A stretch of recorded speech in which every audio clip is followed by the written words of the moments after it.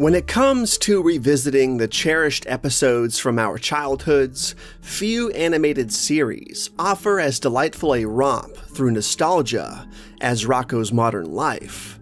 The episode, Sugar Frosted Frights, which aired as part of the show's celebration of Halloween, exemplifies the series' quirky charm. Of dark and foreboding shadows that would chill you to the bone.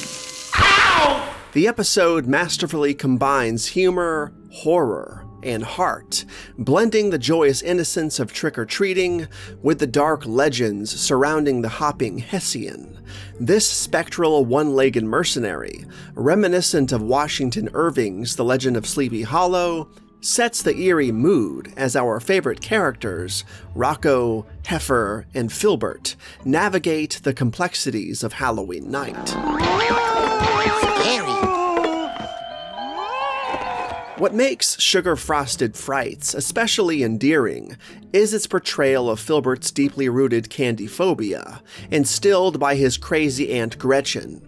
His first taste of candy spirals him into a delightful frenzy, beautifully capturing the childlike pleasure of indulgence and leading to a series of events that place our trio deep in the path of the ominous Hessian.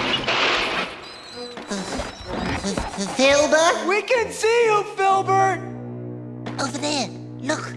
The animation stays true to the unique style of Rocko's modern life bold, colorful, and often surreal.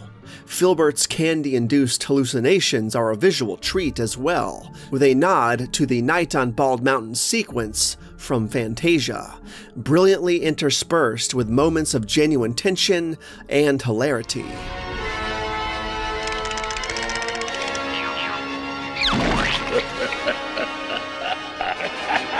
Come back!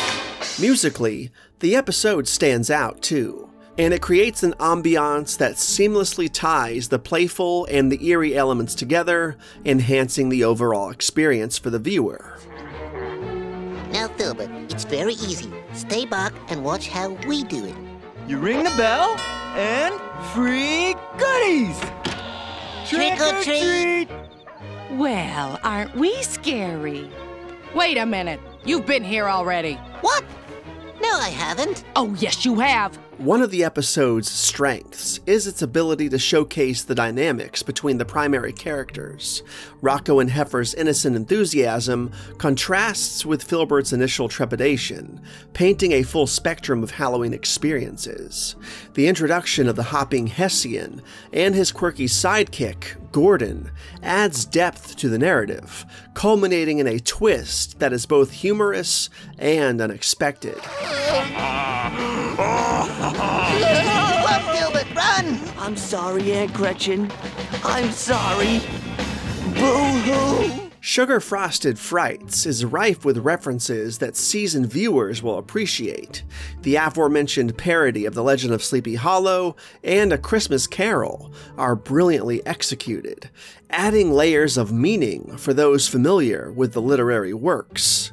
Moreover, the nod to Frosted Flakes and the shared music with the adventures of Pete and Pete adds to the episode's charm.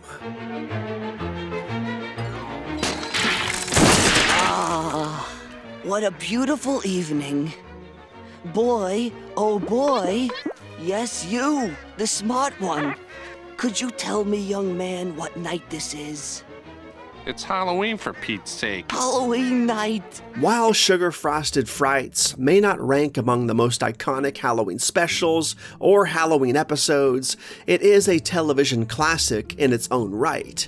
It encapsulates the whimsy, fear, and camaraderie associated with Halloween, delivering a story that is both entertaining and nostalgic. For those of us who grew up with Rocko, Heffer, and Filburt, this episode is a delightful trip down memory lane. For newcomers, it's an introduction to the offbeat world of O Town and its eccentric inhabitants. Either way, it is a Halloween treat that should not be missed. With all that said, Rocko's Modern Life's Halloween episode, Sugar Frosted Frights, is satisfyingly spooky.